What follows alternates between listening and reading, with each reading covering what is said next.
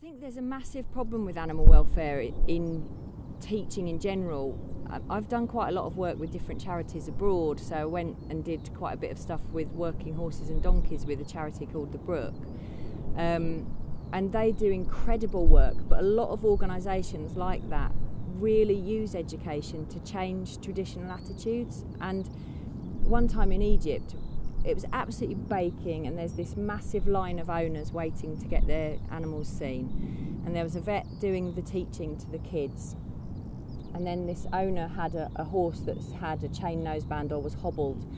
And it's one of the things they try really hard to get them not to do. And this little kid ran over with this laminated sheet that they'd just been given at school, in the little school bit of it. Um, and he was you know, rabbiting away in Arabic to this owner of the horse and pointing at his laminated sheet and pointing at the horse. And to this day, it's always stuck with me. Kids are so naturally empathetic that if you don't harness that somehow and use it for good, it's a it's a real shame.